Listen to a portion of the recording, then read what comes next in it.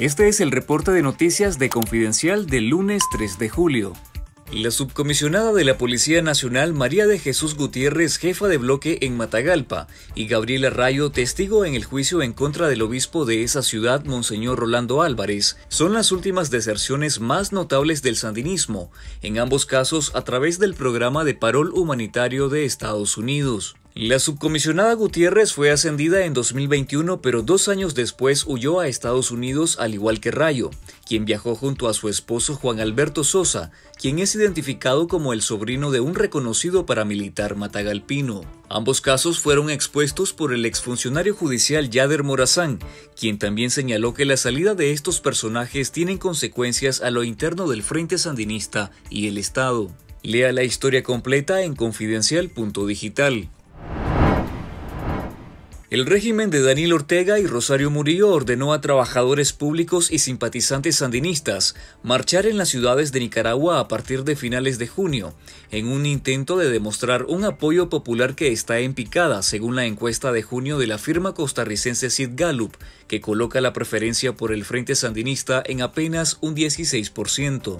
Para el opositor Juan Diego Barberena, la dictadura intenta exhibir un poder que saben que no tienen y a la vez reflejan la capacidad de la de sus bases. La vicepresidenta y vocera del régimen, Rosario Murillo, anunció el inicio de celebraciones para Julio Victorioso, en alusión al 44 aniversario de la Revolución Sandinista previsto a realizarse el 19 de julio, aunque el régimen lleva tres años sin celebraciones masivas. Los ejércitos de Nicaragua y Honduras intercambiarán información e inteligencia en tiempo real, según los acuerdos de junio pasado entre el jefe del ejército nicaragüense, el general Julio César Avilés, y el jefe del Estado Mayor Conjunto de las Fuerzas Armadas hondureñas, el vicealmirante José Fortín Aguilar. De acuerdo con la versión oficial de ambas instituciones, el objetivo es sostener mecanismos de cooperación ya existentes en aras de enfrentar amenazas y factores de riesgo. Esta colaboración ha generado suspicacias entre expertos en temas de seguridad, que advierten una tendencia de parte del régimen de Ortega de militarizar todo tipo de temas, creando redes de información que pueden servir para muchos fines. Al menos 50 mujeres nicaragüenses murieron a causa de violencia machista en el primer semestre del 2023 dentro del país o en el extranjero, informó este lunes la organización feminista Católicas por el Derecho a Decidir. 14 de las 50 víctimas nicaragüenses fueron asesinadas en el extranjero según el orteguismo. El 50% de las víctimas tenían edades de 18 a 35 años, asegura Católicas por el Derecho a Decidir, quien también apuntó que un 36% de los agresores eran parejas de las víctimas.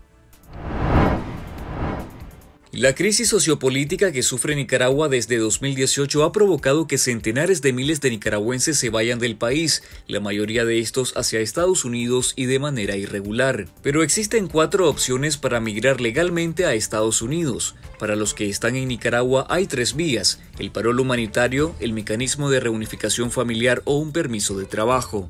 Quienes se encuentran en el extranjero y van tránsito hacia Estados Unidos o están en la frontera de México con ese país pueden aplicar al asilo político siempre y cuando demuestren que cumplan los criterios para obtener el refugio. En Nicas Migrantes de nuestro sitio web confidencial.digital lea todos los detalles sobre las vías legales de migración a Estados Unidos para los nicaragüenses. En nuestro canal de YouTube Confidencial Nica le recomendamos lo mejor de las noticias satíricas en Nicaragua en Fuera de Broma, con su más reciente entrega titulado El misterio del Grupo Monteverde, las lecciones de William Grisby y Wilfredo Navarro, la reserva moral del Frente Sandinista. Y Daniel Ortega no perdió la oportunidad y envió como representantes de su dictadura a la reserva moral del sandinismo. Wilfredo Navarro, el arma secreta del Frente Sandinista. Gracias por ver este video y si aún no lo has hecho, suscríbete a nuestro canal en YouTube, activar las notificaciones para recibir las noticias del momento sobre Nicaragua. Tu respaldo a Confidencial es imprescindible para seguir informando y para ganar la batalla de la verdad.